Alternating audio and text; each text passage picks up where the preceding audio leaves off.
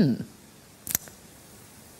Particle physics explores the nitty gritty of the itty bitty in the very beginning of the cosmos and in the subatomic building blocks that make up every single one of us. Quanta are the littlest packages of matter. Quantum, the singular, one tiny dancer, a fundamental speck, the elementary particle. Think of it like a pixel from the material world.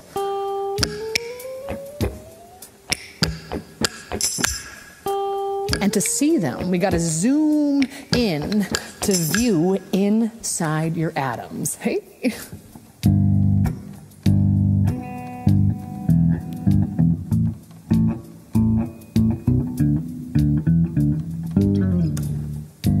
Every single atom has got a nucleus where the protons and neutrons are tightly squished. Those are made up of even smaller bits called quarks held together by gluons, particles of force. But the electrons are kind of hard to describe. They're more like moving points in flight we cannot further subdivide, orbiting that nucleus like subatomic satellites. They are the smallest possible conceivable size. Electrons are the threads of space-time.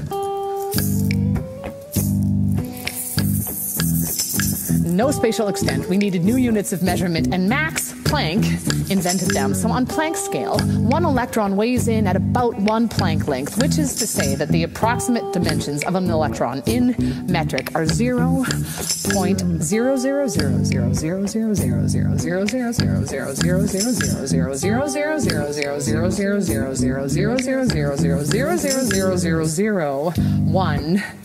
meters. So I will riddle you this. Does an electron even actually exist if we cannot measure it until something else disturbs it or it jumps to a higher or lower energetic orbit, in the process of which it absorbs or emits a photon? That's a particle of light that can be seen, and we call these jumps quantum leaps.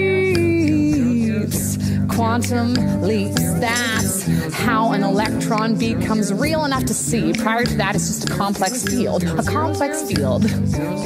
Like the relationship between you and me and this interweb of infinite connectivity.